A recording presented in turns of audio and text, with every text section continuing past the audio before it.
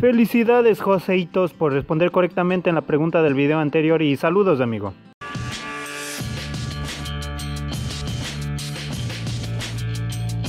Pregunta.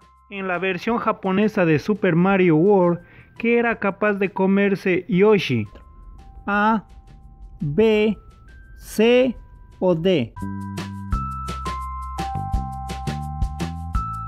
Para que se te haga más fácil, pausa el video, lee la pregunta y analiza las cuatro respuestas. Y déjanos un comentario con la respuesta que crees que es la correcta.